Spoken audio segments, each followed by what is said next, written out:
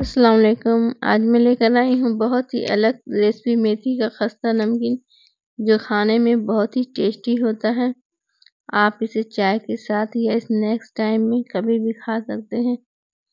ये बहुत इजली बन जाता है। मैंने यहाँ पे मेथी लिया है, जिसको मैंने अच्छे से तोड़ लिया था और मैंने इसे छोटे छोटे टुकड़े कर लिए हैं।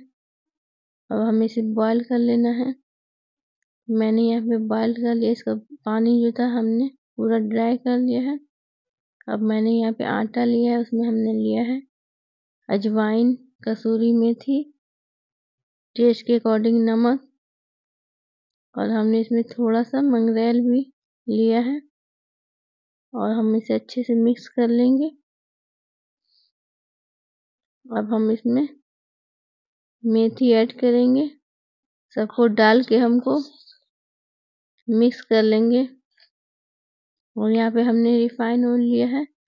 रिफाइन ऑयल अच्छे से डालिए ताकि हमारा जो नमकीन है अच्छा खस्ता बने। मैंने इसका डो बना लिया था, अब मैंने इसे बेल लिया है। और बेल के हमने इसे चारों तरफ़ से ऑयल से फैला लिया है। लगा के अब हम इसे रोल कर लेना है, फोल्ड करके। मैंने यहाँ अच्छे से रोल कर लिया है। अब हम इसे दोनों हाथ से इसे दबाकर फिर से इसे हम रोल करेंगे। यहाँ पे देख सकते हैं कि हमें अच्छे से दबा लेना है और दबा के फिर हम इसे रोल कर लेना है। ये हमारा रोल जो है, बन गया है। हम इसे कट करेंगे। मैंने यहाँ कट कर लिया है। इसी तरह सबको कट करके आपको दोनों हाथ से इसे दबा देना है।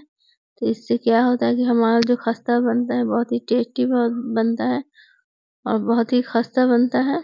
नमकीन हमारा। इसी तरह सबको कट बना लेना है। अब हमने यहाँ पे तेल गर्म कर लिया है। अब हम बिल्कुल लो फ्लेम पे आपको इसे फ्राई करना है।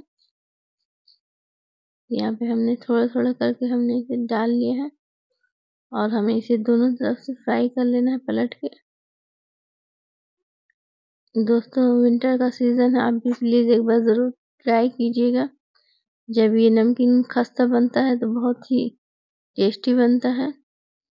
यहाँ पे हमारा जो खस्ता नमकीन है, बनकर रेडी हो चुका है। मैंने यहाँ चाय के साथ इसे सर्व कर लूँगी। आप चाहें तो आपके घर में कभी भी कोई मेहमान आए तो झटपट आप बना सकती हैं। यहाँ हमारा चाय के साथ मेथी का खस्ता नमकीन बनकर रेडी है। वीडियो अच्छी लगे तो ज़रूर लाइक कीजिएगा। अल्लाह हाफिज़।